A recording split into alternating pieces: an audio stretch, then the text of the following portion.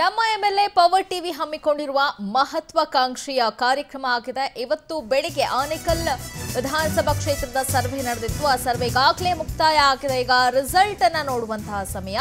ಬೆಳಿಗ್ಗೆ ಒಂಬತ್ತು ಗಂಟೆಯಿಂದ ಹನ್ನೊಂದು ಗಂಟೆವರೆಗೆ ಆನೇಕಲ್ ವಿಧಾನಸಭಾ ಕ್ಷೇತ್ರದ ಸಮೀಕ್ಷೆ ನಡೆದಿದೆ.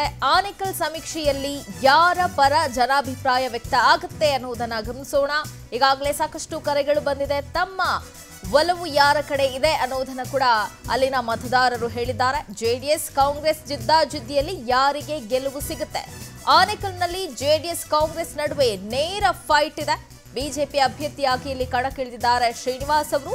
ಇನ್ನು ಕಾಂಗ್ರೆಸ್ ಪಕ್ಷದ ಅಭ್ಯರ್ಥಿಯಾಗಿ ಶಾಸಕ ಬಿ ಶಿವಣ್ಣ ಅವರು ಸ್ಪರ್ಧೆಯನ್ನ ಮಾಡ್ತಿದ್ದಾರೆ. ಬಿಜೆಪಿ ಅಭ್ಯರ್ಥಿಯಾಗಿ ಶ್ರೀನಿವಾಸ್ ಕಣದಲ್ಲಿದ್ರೆ ಕಾಂಗ್ರೆಸ್ ಪಕ್ಷದ ಅಭ್ಯರ್ಥಿಯಾಗಿ ಶಾಸಕ ಬಿ ಶಿವಣ್ಣ ಅವರು ಸ್ಪರ್ಧೆ ಮಾಡ್ತಿದ್ದಾರೆ. ಇನ್ನು ಜೆಡಿಎಸ್ ಪಕ್ಷದಿಂದ ಕೆಪಿ ರಾಜು ಅವರು ಕಣದಲ್ಲಿದ್ದಾರೆ. ಇನ್ನು ಬಿಎಸ್ಪಿಯಿಂದ ಚಿನ್ನಪ್ಪ ಚಿಕ್ಕ ಹಾಡಗೆ ಸ್ಪರ್ಧೆಯನ್ನ ಮಾಡ್ತಾ ಇದ್ದಾರೆ. ಇನ್ನು ಆನೇಕಲ್ ಕ್ಷೇತ್ರದಿಂದ ಬಂದಿರುವ ಒಟ್ಟು ಕರೆಗಳನ್ನ ಗಮನಿಸುವುದಾದ್ರೆ ಹತ್ತು ಸಾವಿರದ ಆರುನೂರು ಕರೆಗಳು ಬಂದಿದೆ.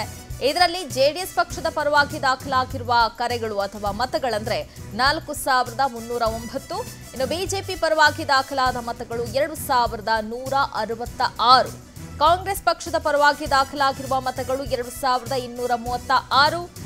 ಬಿಎಸ್ಪಿ ಅಭ್ಯರ್ಥಿ ಪರವಾಗಿ ದಾಖಲಾಗಿರುವ ಮತಗಳು ಸಾವಿರದ ಎಂಟುನೂರ ಎಂಬತ್ತ ಒಂಬತ್ತು. ಕಾಂಗ್ರೆಸ್ನಿಂದ ಇಲ್ಲಿ ಜೆಡಿಎಸ್ಗೆ ಎರಡು ಸಾವಿರದ ಎಪ್ಪತ್ತ ಮೂರು ಮತಗಳ ಮುನ್ನಡೆಯನ್ನು ಪಡೆದುಕೊಂಡಿದೆ.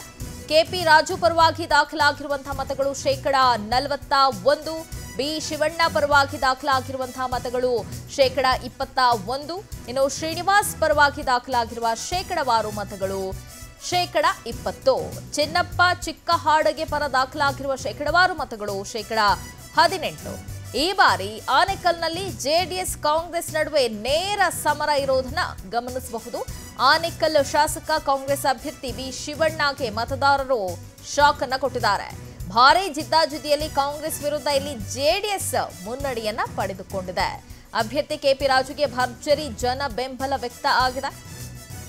ಇನ್ನು ಗ್ರಾಫಿಕ್ ಪ್ಲೇಟ್ನೆಲ್ಲ ಕೂಡ ಗಮನಿಸೋದಾದ್ರೆ ಶ್ರೀನಿವಾಸ್ ಅವರು ಇಪ್ಪತ್ತು ಪರ್ಸೆಂಟ್, ಬಿ ಶಿವಣ್ಣ ಅವರು ಇಪ್ಪತ್ತೊಂದು ಪರ್ಸೆಂಟ್ ಕೆಪಿ ರಾಜು ಅವರು ನಲವತ್ತ ಒಂದು ಪರ್ಸೆಂಟ್ ಮತವನ್ನು ಪಡೆದುಕೊಂಡಿದ್ದಾರೆ.